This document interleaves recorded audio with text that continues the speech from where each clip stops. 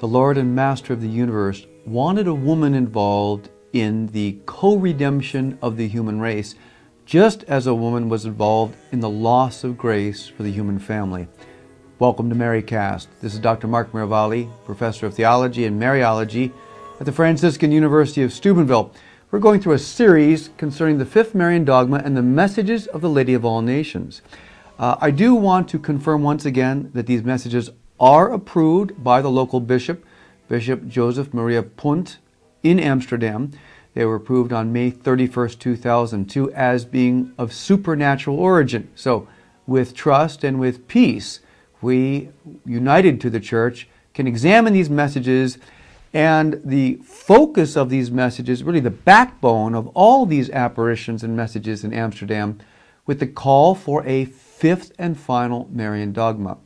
I want to share with you an excerpt from the February 17, 1952 message where our Blessed Mother herself describes how God the Father wanted a woman involved in salvation and how precisely that woman does uniquely participate in the redemption of the world. These are Our Lady's words, and I quote Now the lady waits in silence for a long time. Then she resumes the Lord and Master selected a woman called Miriam or Mary from among all the peoples of the world. She was destined through the will of the Father to bring the Son of Man into the world together with his church and the cross. The lady was the handmaid of the Lord. She bore the Son of Man through the will of the Father and was thus necessarily allied with the church and the cross. This woman stands in front of you in this present time as the co redemptrix, mediatrix, and advocate. Let the following works sink in well. The woman or lady of all nations can and will bestow on all the peoples of the world who have recourse to her grace redemption, and peace. To you all, however, falls the task of introducing the Lady of all nations to the whole world. So, what does Our Lady begin with? Uh, she begins with salvation history, and she makes clear that it was the will of God the Father that Mary would become the mother of Jesus. Uh, we know that theologically, and as the messages will speak as well later, that she's the Immaculate Conception precisely so that she can be uniquely participant, uniquely supportive, uniquely cooperative with the Redeemer in restoring the life of grace to the human family. So, the role of the woman is the will of the Father. Now, the Fathers of the Church spoke of this beautifully in concepts called recapitulation and recirculation. In essence, the fathers of the church uh, told us that God the Father wanted to use the same elements by which man fell to have man rise. What were the elements, as we know in the revelation of the book of Genesis, that led to our fall? Number one, a man, Adam. Number two, a woman, Eve. Number three, a tree, the tree of the knowledge of good and evil. And from those three elements, which of course, with of course the addition of Satan's influence and temptation, you have the fall of the human race. So God the Father, in His perfect providence, and really as a manifestation of His omnipotence, wanted to use a man, a woman, a tree to restore life to the human family. So, as St. Paul tells us, Jesus Christ is the new Adam. Mary, the fathers of the church tell us, is the second or the new Eve. Again, keeping that pattern. As life was lost, so life will be restored. And then, thirdly, it is the tree of the cross that leads to our salvation.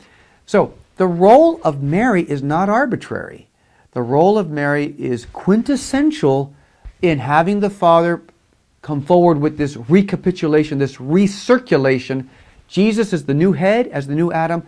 You must have a new Eve to follow that parallel, actually, that completely antithetical parallel with what happens in Genesis. So, Our Lady she says specifically, she, she bears the Son of Man and she becomes allied with the church and with the cross. Now, uh, you could write a doctoral dissertation on that. Because Mary says yes, at the will of the Father, to give Jesus his flesh, to be the mother of the Savior, she's immediately allied with the church. Uh, she is the mother of the church, as the Second Vatican Council teaches, and as Paul the Sixth proclaims uh, at the end of the council. That means that the spiritual children of the church who come forward from Christ also come, for, come forth from Mary as mother. So she is immediately allied with the church as the mother of the church.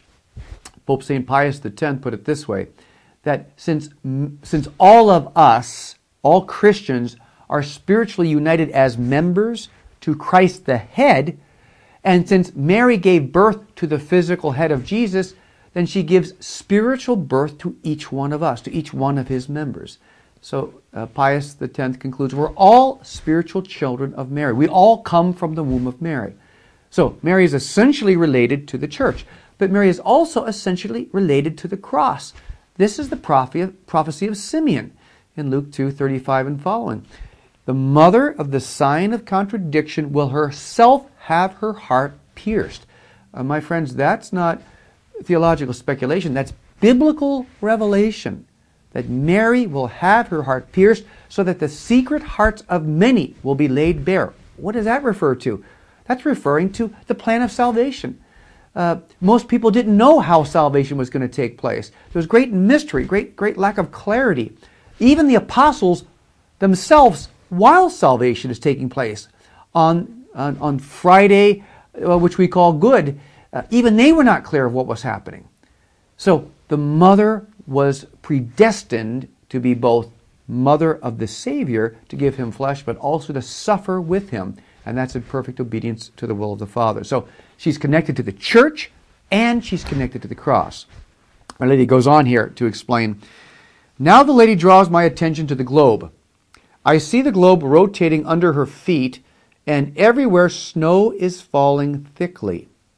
Do you see, resumes the lady, just like this, the Lady of all nations shall be brought all over the world from country to country, from town to town. Let them become one community. Through that simple prayer, this will be realized. Ask your bishop if he would kindly sanction the complete version of the prayer. May the Lady of all nations, who once was Mary, be our advocate. Inform your bishop that the Lady of all nations will help and assist him, and that the work of spreading really must go ahead. So, here's the question for, for you and me right now Has the Lady of all nations spread to your town? At least through you. Are you praying the prayer of the Lady of all nations? If you don't, I invite you to learn this 30 second prayer, this prayer given by Our Lady, not only for the proclamation of the fifth Marian dogma, but as she said, to bring forward an authentic world community, a community in Christ, a community centered at the foot of the cross, and a community ready to carry its cross for the sake of our holy Catholic faith and for the sake of ultimate unity of all in Jesus Christ. Thank you for being with us at Marycast. This is Dr. Mark Miravalle. More on Our Lady of All Nations of the Fifth Marian Dogma to come. God bless.